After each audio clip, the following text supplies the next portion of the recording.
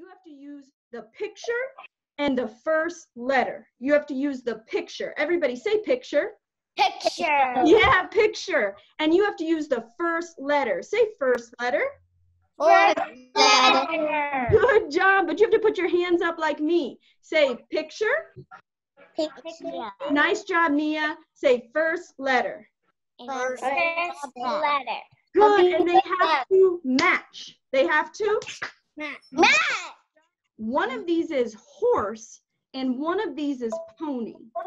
One of these is horse and one of these is pony. Put a thumb up if you know which one is the pony. Put a thumb up if you know which one is the pony.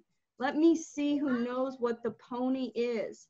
Anna, which one's the pony? The circle or the triangle? The triangle. The triangle. How do you know that the triangle is a pony? Because it has a paw in it. It has a pup. And the picture and the first letter match.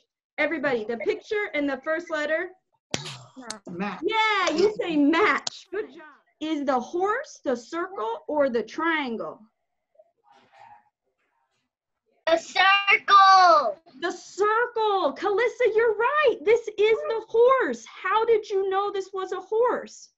Because they have an H on top of the horse. Yes, it does, Calissa. And you made the picture and the first letter, and one of these says cloud.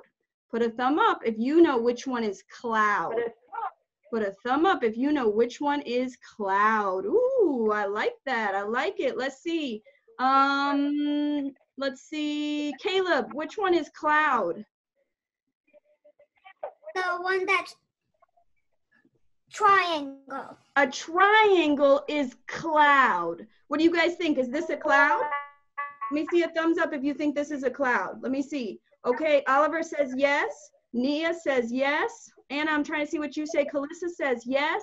Caleb, how did you know this was a cloud? Because C starts with cloud. Yes, it does.